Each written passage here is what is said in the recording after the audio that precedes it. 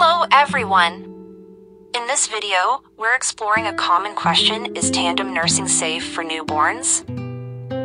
Let's discuss the safety considerations and benefits of tandem nursing for both newborns and older siblings. Sibling bonding and emotional support.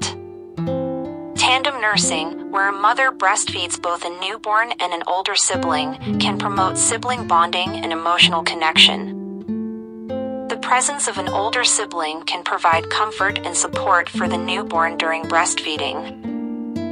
Adequate milk supply and nutrition.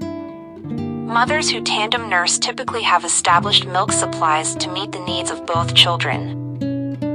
Adequate nutrition and hydration are essential for maintaining milk production and ensuring sufficient milk supply for the newborn. Close monitoring and support.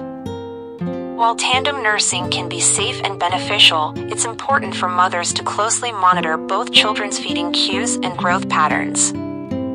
Seek support from healthcare providers or lactation consultants to address any concerns and ensure optimal breastfeeding outcomes. Like, subscribe, and share your experiences with tandem nursing in the comments below. Let's support each other on our breastfeeding journeys.